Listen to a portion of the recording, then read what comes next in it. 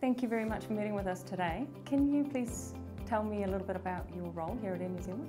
So I'm a senior developer slash tech lead is my role. So I do a combination of dependent on project, um, either leading a team exclusively, which means that I'm responsible for um, low, low level technical design as well as mentoring uh, more junior team team leaders, sorry, team members, and um, just liaising with the project management team, making sure a project is delivered on time and to a good uh, quality standard. How did you find yourself in such a role? Um, tech leading is a fairly natural progression from senior developers, so any senior developers who show leader, leadership skills generally find, find their be asked to tech lead at some point or other. And somebody who's in a mentorship role, um, do you use that outside of New Zealand at all? Uh, I guess quite naturally, yeah. I'm in a I'm in a couple of groups where I sort of take leadership positions in social groups. I'm in an expats group, for example, and I'm running events for them. Um, I'm in a band, it's a South American samba band, strange for a skinny white guy, but I'm, a, I'm a section leader in that as well, and yeah, I, I guess so. It's kind of maybe just a natural attribute. What sort of advice would you give to somebody who is looking to enter the IT industry? Um, I guess there's fairly uh, well-known paths into the IT industry through tertiary education. So anyone with a degree, it's, it's I suppose deciding that you want to do it first up. And I think once you're in there though, the important thing is just to keep learning. Um, I think technology is changing at such a rapid pace these days. It's, it's easy to get complacent, it's easy to get pigeonholed. And if you're not constantly looking at new technologies and what's progressing what's changing, um, you're gonna you're gonna find yourself stuck at some point quite quickly. Keep learning mm. before doing. and what are the biggest changes that you've seen in, in your area in, in technology? Um, I guess the, the internet affects everything. So where when I started out, the internet was only in its its dawn. Um, these days it's everywhere, so you're talking about obviously mobile is, is huge and that's been the big thing for the last five to six years. The next big thing that seems to will, will be a sea change is devices everywhere, so Internet of Things, that type of thing. Um, the type of software that we will need to accommodate those types of devices is quite different than we've got now. And funnily enough, as people, people think that technology is only getting more powerful, which is true.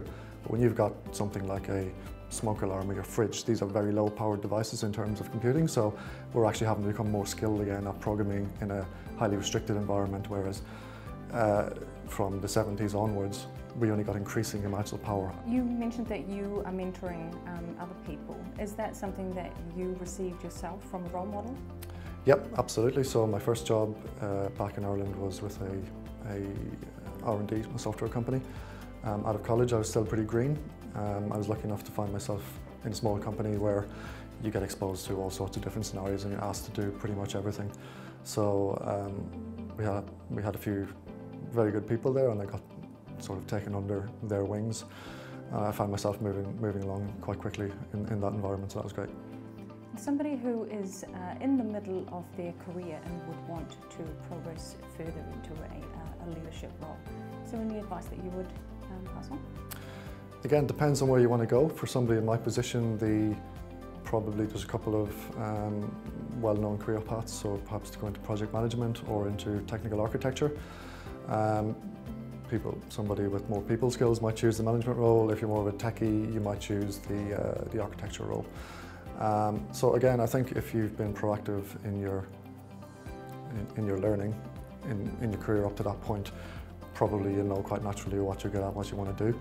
Um, so again, if you've got those leadership skills, you've got the technical capability, it'll just happen for you. You mentioned that you're in a contract role. Mm -hmm. um, can you talk to me a little bit about um, pros and cons of uh, contract roles and, and, how that's been different from you from being a, a permanent position? Sure. Uh, well, firstly, I became a contractor completely by accident. I took up a friend's job, which happened to be a contract role. He was leaving Auckland as, as I arrived, so I just took his job. Um, pros, uh, more money. it's always good. Uh, more flexibility. Um, I've never been turned down for leave because I think management find it a bit easier to say yes to your leave when they're not paying for it. If you're a permie, they're still paying for you while you're away. Um, I think as a contractor, you're always more, you're always a little bit more open to change because the, your contract renewal, your, your security is only as long as your current contract, which is usually a number of months, maybe six to 12. So I think you're, you become much more adaptable. I've learned a lot of skills going through a lot of organisations, just being able to hit the ground running, being able to know exactly what I need to do on day one to be productive, which potentially I think some permies struggle with when they change roles after maybe five to 10 years in one role moving to another one. We've worked on a few projects where, for example, we took our entire online booking system and rewrote it. Um, it was written in 10-year-old technologies, we've rewritten it in modern technology. Um, it looks a lot better from the in inside in, ter in, terms of the code itself is a lot better. It looks a lot better for customers as well.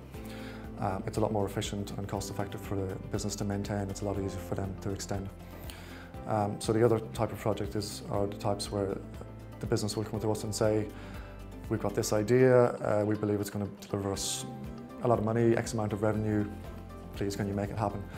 So some projects that I've worked on recently of, of that type are uh, Farehold, for example, where customers come to the Air New Zealand website, they search for a flight, they see a price perhaps that they like, but they don't, don't want to commit to booking right now. So maybe they don't have sign off from the wife, maybe they just want to think about it for a few days.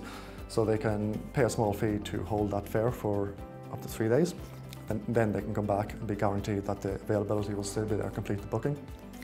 Um, another one is where we called multi-currency pricing. So if I'm on the New Zealand booking site and I've got, say I'm an Australian person, I've got an Australian card, I can choose, we will present the customer with the option to pay in their local currency, which is cheaper for them, it, it saves them bank, bank charges. You're obviously quite uh, passionate about your technology. Is there anything that you do outside of work to uh, give back? Uh, I guess the most recent thing I, have done, I was involved in a, a hackathon called JHack recently where I mentored a, a bunch of kids, school kids from ages 7 to 16 up. Um, MIT ran, ran this event where I think it was about 170 kids on the day um, using the game Minecraft where they were manipulating the game through code. So I, I, met, I went down to the school two or three times every week for a month just to teach them how to code. And um, yeah, just try and get kids into tech. There's a lot of opportunities, but I think kids at that age don't really know what coding is. They don't know a lot about the IT, IT industry. So yeah, it was just a really rewarding experience. Fantastic. Thank you very much for uh, sharing your time with us today. You're welcome.